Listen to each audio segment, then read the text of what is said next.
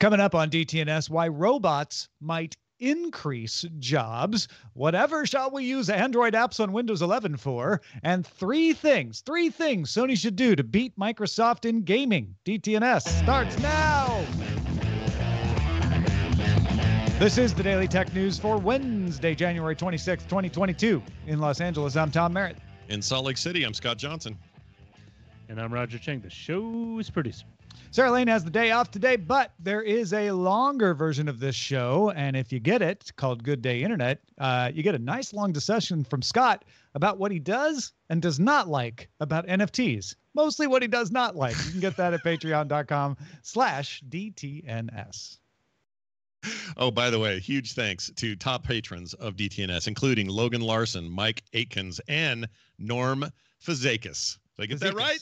Fazekas. Fazekas. I knew I was going to mess that one up. Norm, you're awesome. Send all your emails to me. Uh, you guys are all great. Thank you for being supporters. Let's start with a few tech things you should know. The EU General Court overturned a 2009 antitrust decision against Intel. Heck, I was at Buzz Out Loud when that decision was made. Uh, this decision involved rebates that Intel gave to PC makers to allegedly squeeze AMD out, resulting in a record 1.06 billion euro fine. The court found that the European Commission failed to show, quote, to the requisite legal standard that the rebates were an anti competitive risk. This ruling can still be appealed to the European Court of Justice and probably will be. Samsung officially announced its next Galaxy Unpacked event, and they say it will happen on February 9th at 10 a.m. Eastern Time. See if it actually happens this time. Uh, this invite will have a big letter S with the phrase the epic standard. So, uh, do you think it's a new Samsung Galaxy S22 that might be announced? Well, mm, yes, yeah. I think we all think that's probably what's going to happen. Uh, in fact, Samsung President TM Roh said Samsung will announce, quote, the most noteworthy S series device we've ever created. Noteworthy, eh? Mm. Like mm, Galaxy Note. Mm, mm. Uh, when Twitter made it possible to use NFTs as profile pics, you may have scoffed and said, that'll never happen on Reddit. I, I don't know why you would have said that, but I'm guessing maybe at least one of you did. So if you did, we regret to inform you you were wrong. TechCrunch reports that Reddit is testing a feature to let users set any NFT as their profile picture. Uh, the test is in its earliest stages. It has not been made available to the public. Developer Nima Owji found references in Reddit's web app to a test collection on OpenSea. Valve announced that the Steam Deck handheld console will go on sale Friday, February 25th, to customers who have made reservations. If you're like me, you're second in line on that whole deal. Uh, starting at 10 a.m. February 25th, Valve will send out emails in the same order that reservations were made. They actually stated that when you signed up. Uh, once you get an email, you'll have three days to place your order. Shipping uh, of those first batches of orders will begin February 28th, so pretty quickly after that. New batches of emails will go out in order weekly after that. So even if you were like me and you got really late, they'll eventually get to you. Uh, if you're late to the game, you can still go and do what I did months ago, which is register to to reserve one basically with a five dollar deposit. Uh, though shipping is estimated for quarter two at that point. Well, Q2 though, that's not yeah. that's not as bad as I would have thought. Maybe so. Yeah, it's not too bad. Uh, Apple is number one in China when it comes to smartphones. Analysts at Counterpoint estimate the Q4 smartphone sales in China declined 9% on the year. Overall, 2021 sales in China down 2% year over year. In the last quarter of 2021, Apple grew its sales 32% on the year, bucking the trend to become number one in China in market share with 23%. First time since Q4 2015 that they have led the market. Uh, fastest growing smartphone brand in China is Realme, with sales up 83% in Q4 and 379% on the year uh, on all of 2021. All right, let's talk a little bit more about Microsoft. Uh, we mentioned yesterday that they had their earnings report. Uh, Cloud, Office, and Windows led to a strong quarterly earnings report for Microsoft Tuesday. Overall revenue up 20%. Microsoft even surprised people with some hardware revenue. Uh, Surface revenue rose 8%. CEO Satya Nadella's message was the time spent on Windows PCs is rising. So don't think of Windows as in decline. Think of it as a fertile ground for us to make lots of money on. Uh, although Azure grew by 46%. So that's still the biggest of the big revenue generators. Another notable contributor, though, was LinkedIn. LinkedIn grew 37% in revenue. So there you go. You got your cloud with Azure, you got your community with LinkedIn. And remember, Satya Nadella was saying about Activision Blizzard cloud, community, and content. So let's talk about the content part. Overall, gaming revenue was up 8% for Microsoft. Keep in mind that next quarter will become the first one with the new dedicated Microsoft gaming division in the earnings report. That's the one that Phil Spencer is now CEO of. So reporting numbers are going to move around a little bit more and reflect more of Microsoft's overall gaming business. Not every gaming studio is included in these Xbox numbers that we got this time. Uh, CEO Satya Nadella said that 20 million people had played Halo Infinite, 18 million people had played Forza Horizon 5, really trying to play up usage, which is important if you're selling a cloud gaming service subscription. And Bloomberg reports that at least the next three Call of Duty games will be on both Microsoft and Sony platforms, uh, even if Microsoft acquires Activision Blizzard in the expected fiscal next year timeframe. But of course, that's not too shocking, as uh, the earliest that Activision acquisition would close would be summer, uh, and then the latest would be next summer. So that that seems to time out right. Okay, after that, anything's on the table. And all of this, all of this, well, maybe not the Windows stuff so much, but all most of this is bad news for Sony. Is Sony's gaming business in trouble? On theconversation.com, University of Cambridge fellow in strategy Hamza Mudassir wrote up three ways that he thinks Sony can avoid getting left behind by Microsoft. So, Scott, I thought we'd kick these around. I'm going to lay them out for you, and you let us know what you think of them as we go in order. You ready? Awesome. Yep, totally ready. All right. Way number one Sony should buy Google Stadia. No, I mean, Google has to want to sell it, obviously. But uh, Mudassir argues that Stadia's biggest problem is a lack of content and an overly complex business model. Sony could fix that by putting the rather deep PlayStation Now library on Stadia machinery. And even if they had to raise the price of $9.99 a little bit, it'd still be a much simpler deal than what you have with Google Stadia right now. Yeah, it's also uh, plausible, at least in my head, that we finally see some sort of white label offer here, and it doesn't necessarily and have Google, to be. Google Stadia has already been been doing white label, so yeah, yeah, they've been doing it already. So why, in this case, I don't know why this would be such a big deal. They don't even have to be that public about it. I mean, they kind of have to be somewhat public, but they don't have to advertise on it. They could just basically say, "Our new reworked PlayStation Now and/or PlayStation Plus, whatever they're going to call it." Uh, is back-ended by Stadia and that technology, or Google's our partner, however you want to say it, and get there just as quickly uh, outside of having to buy them. Now, I think buying them, at buying that division, assuming it was for sale, is probably the best long-term solution because I really think Sony needs to control their own back end. They need to have, or at least as much control over their back end as they can handle. And uh, this just means they're leasing somebody else's stuff again, which is kind of what they do for their systems. So, so yeah, this is this seems like the least possible solution, but it it wouldn't hurt because they're kind of in a they're in a real squeeze in this particular area of their gaming anyway. So yeah, they got to do something there. I, here's the here's the fly in that ointment. Uh, Microsoft Azure and Sony have a deal in the works. Yeah. And so I don't think Sony's going to go use a white label version of Stadia, which is, I guess, why Mudassir is saying just buy it, just buy it from them. You could still use Azure as its backend and then run it. You could white label it to other people if you want. Well, Uh, heaven heaven knows if Sony or uh, uh, Stadia is not like killing the world or knocking us all over, you know, on our feet, and they don't certainly Right. seem to be all that in front of it. So I, maybe they're ready to take a buyer and let it go. I, I don't know. Really hard to say. All right. Uh, way number two.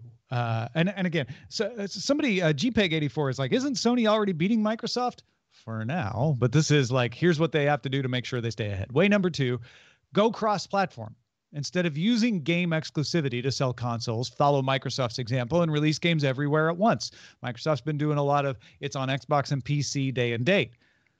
You could do this through PlayStation Now. Put PlayStation Now on every platform smart TVs, phones, set top boxes, computers, heck, maybe even on the Xbox.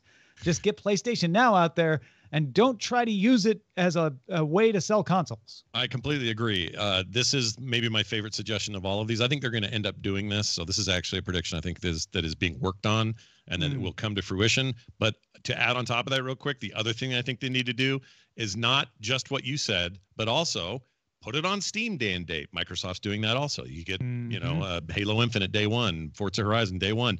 Get these games day one in the hands of gamers in all of the places that they play them, except maybe your chief rivals console. But everywhere else, basically what Microsoft's doing, you'd go a long way than than than just saying, well, hey, we're going to eventually put God of War on there, but it'll take us four years. That's been great. It's reviewing well. It's on Steam now, and people love it. But it took you four years to do it. Make that sta- stuff day and date, or at least closer to day and date. That will go a long way to help shore up stuff for them. I'm looking forward. I'm looking forward to that day. That it will never come, but I'm looking forward to the day that they announce Xbox Game Pass for PlayStation and PlayStation Now for Xbox. Yeah, I mean, I wouldn't have a Peace problem with your weird time. future. I don't think it's going to happen either, but maybe. Way number three, uh, lead the metaverse. Sony's PSF PSVR just lost its lead to the Quest 2 last year. It was the it was the most successful VR headset until the Quest 2 came along. Uh, the PSVR 2 is coming, but it's still tethered to a console, which is kind of a non-starter for a lot of people, and one of the reasons that it lost out to the Quest 2. Uh, so he's saying it needs to leap farther forward to stay even or even get ahead of Microsoft, Meta, and Apple. Yeah, I agree with this one.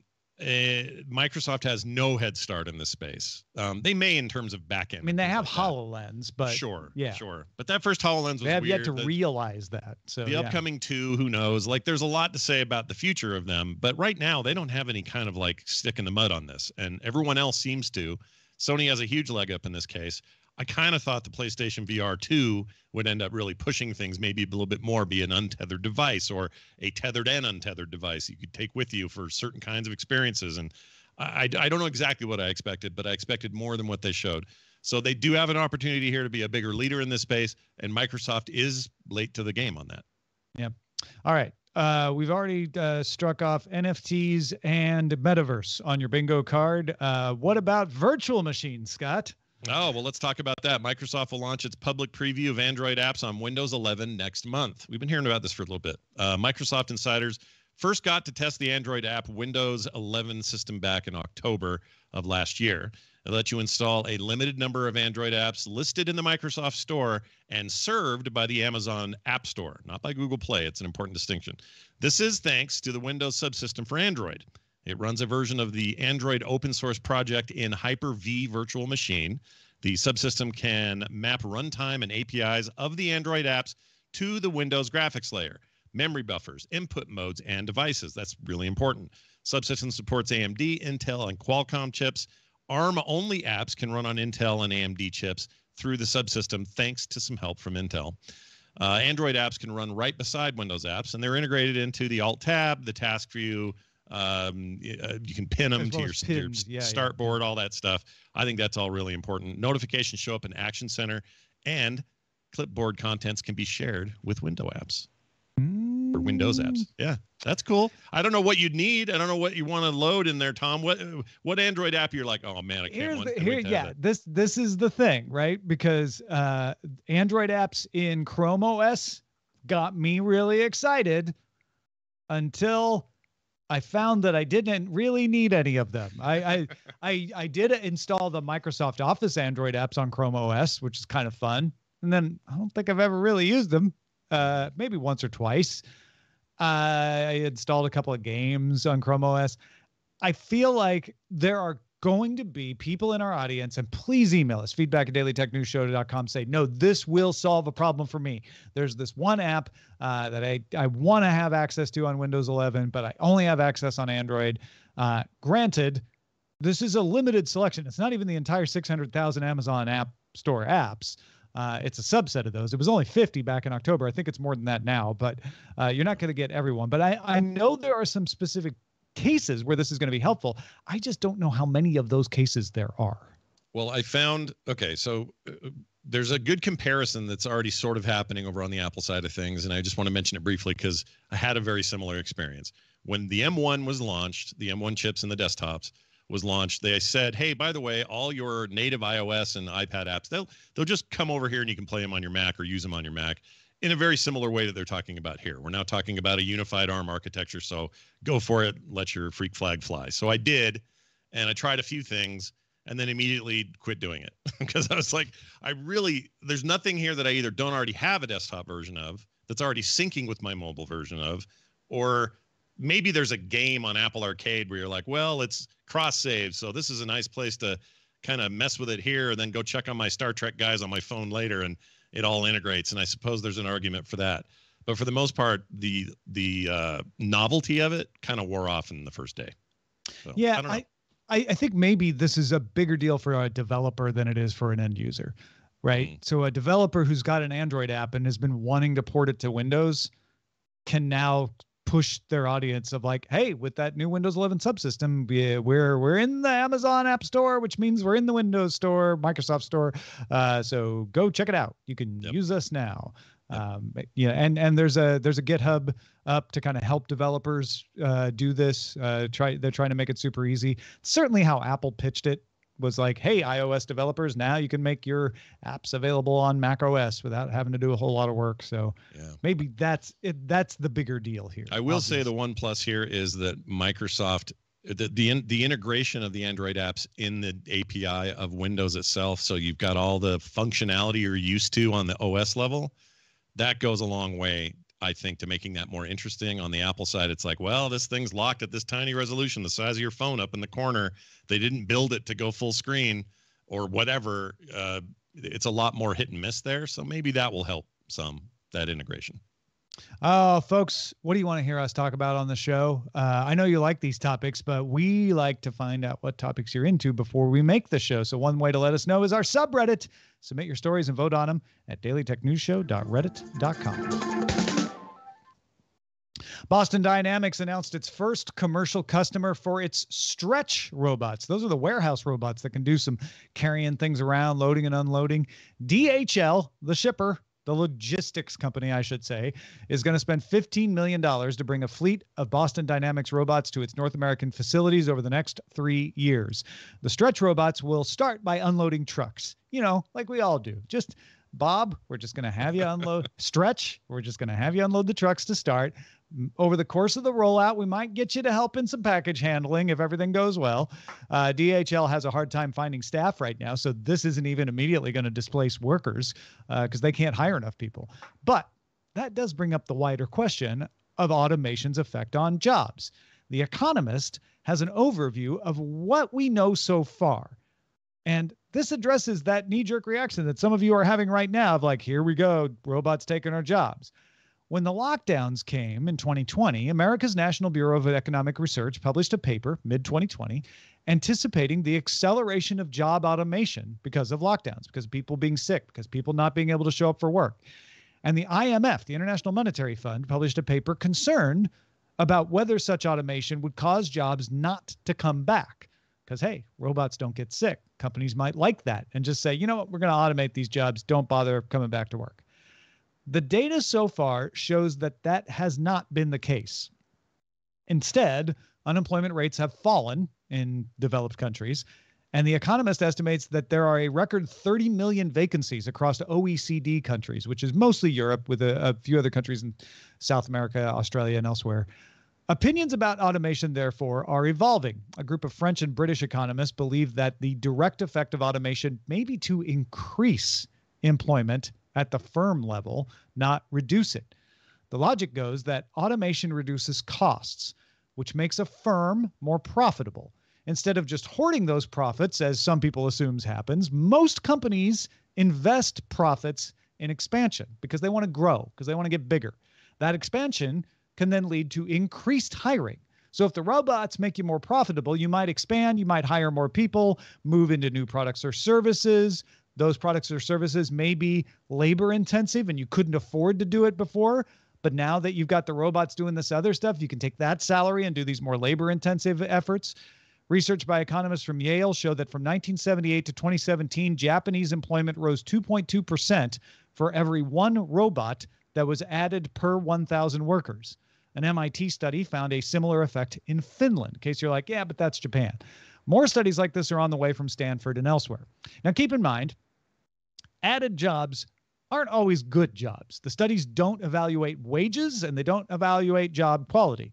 More work needs to be done at the macro scale, too, to see if companies that automate even if they add jobs themselves, drive competitors out, reducing jobs overall in the marketplace. Maybe that's happening. Need to see if that's the case. But if your reaction to robots in the workplace is to think they just simply took a job, it's not that simple. No, I mean, I've never gotten over the lesson, and I swear it was with you that this first got discussed. I could be wrong, and this was years and years and years ago. But the concept that the uh, the accounting world, financial services world, were freaking out when Lotus One Two Three happened and started to get traction. They all just thought, well, this is the end of our jobs. This is the end of everything accounting. I can't believe I have a degree in accounting. I can't believe I've wasted my life sort of fear mongering that was going on back then.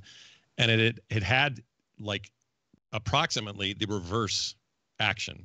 It ended up creating so many more jobs and so much more capacity for more services with these financial services companies and individual accountants that they could take on so much more that wasn't them busily using a pencil and a ledger and trying to get it all done in, in, in older ways.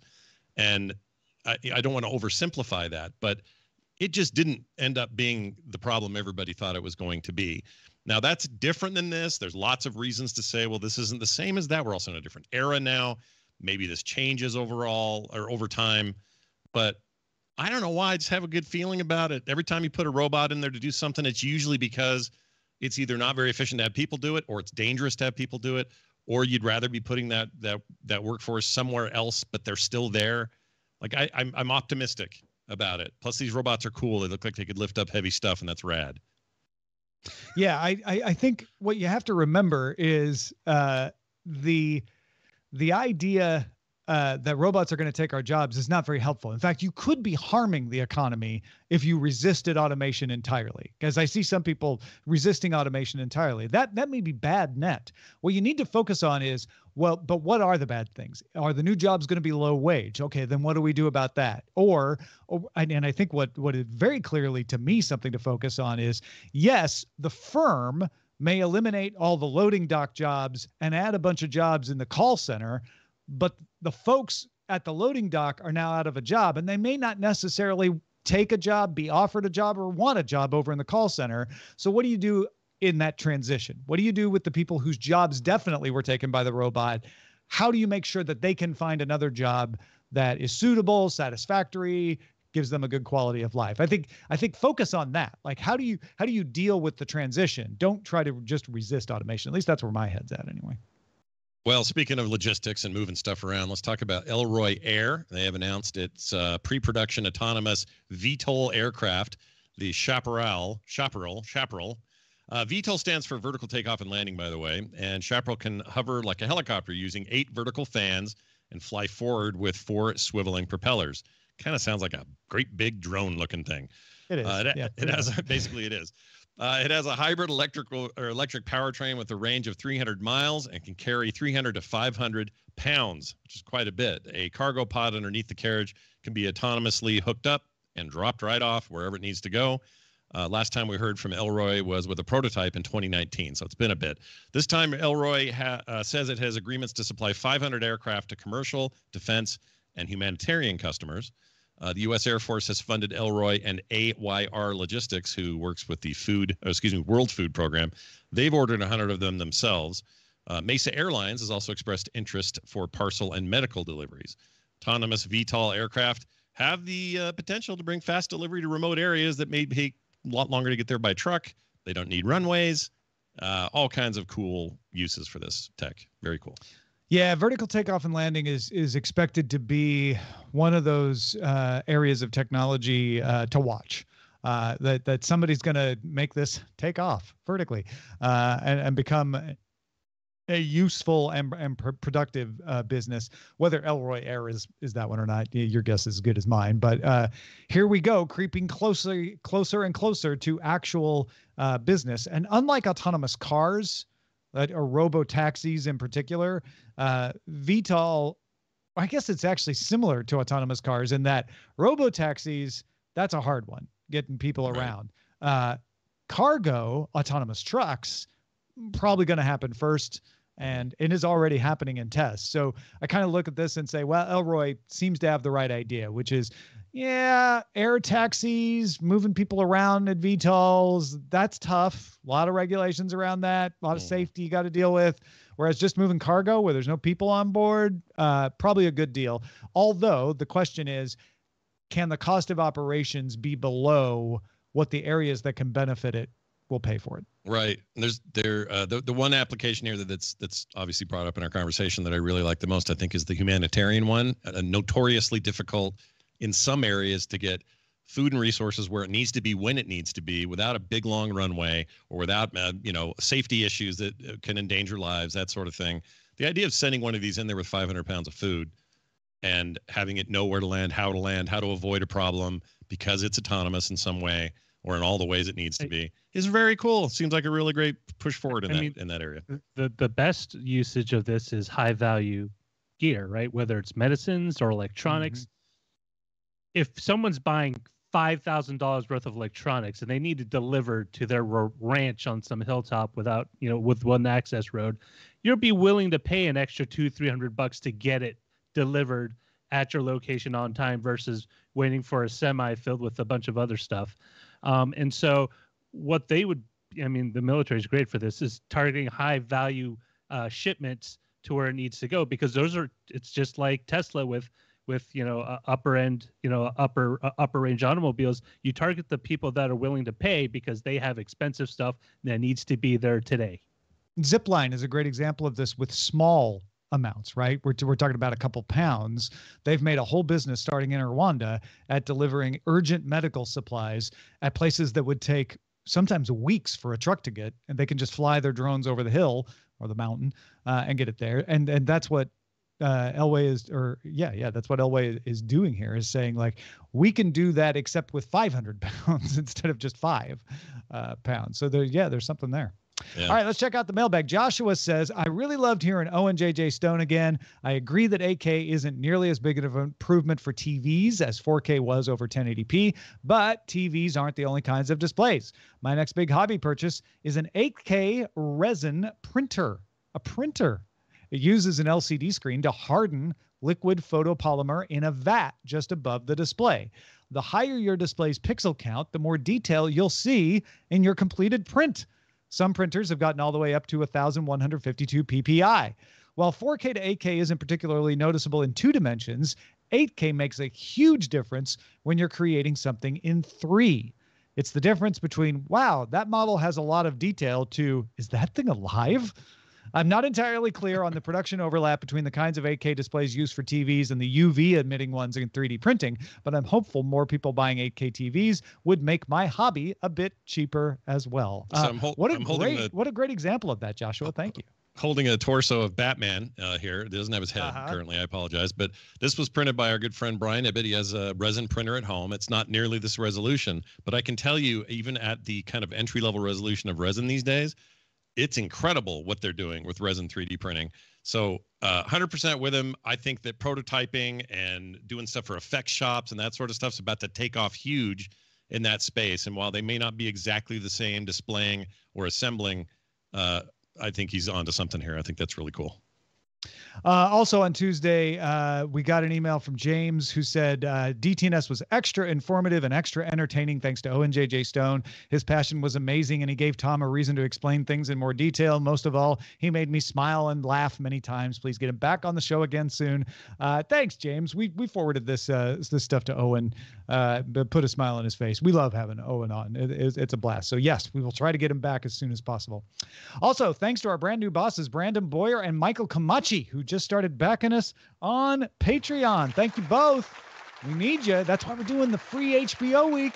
If you've noticed you got extra stuff in your free ACAST feed this week, it's because we're letting everybody get all the stuff that the patrons get.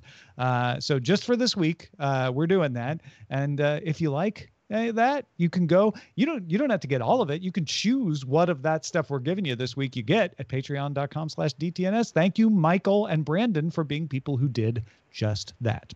And before we get out of here, thank you, Scott Johnson. What's going on these days? Oh, always a pleasure to be here. Um, I cannot say enough of how much I'm enjoying this new show I'm producing now called Play Retro. I do it on Mondays with my friend Brian Dunaway. And it turns out we are a couple of guys who grew up with retro video games when they weren't retro, when they were new, arcades and stuff at home and whatever whatever you think of retro, we were there for it. And so reliving all of that in a modern way and learning about new ways of playing this stuff, talking about cool retro builds of arcade machines and MAME boxes and uh, RetroPies and all this sort of stuff has become a bit of an obsession over the last four weeks. So if that sounds interesting to you at all, do check out our new show. It's called Play Retro. You can find it anywhere you get your podcasts. Just search for Play Retro. Andy, Go do it. Go do it. We're live Monday through Friday, 4.30 Eastern, 21.30 UTC. Find out more at dailytechnewsshow.com slash live. Justin Robert Young on the show tomorrow. And Len Peralta's in on Thursdays these days to do the illustrating. We'll all talk to you then. This show is part of the Frog Pants Network. Get more at frogpants.com. Diamond Club hopes you have enjoyed this program.